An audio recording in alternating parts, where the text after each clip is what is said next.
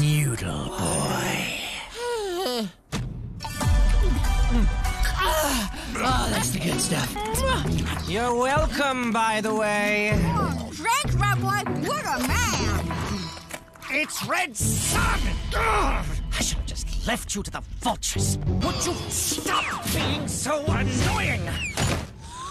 You three aren't even supposed to be here, so I'd appreciate if you finished up and went about whatever obnoxious business you were in the middle of before I saved your pathetic, meaningless lives.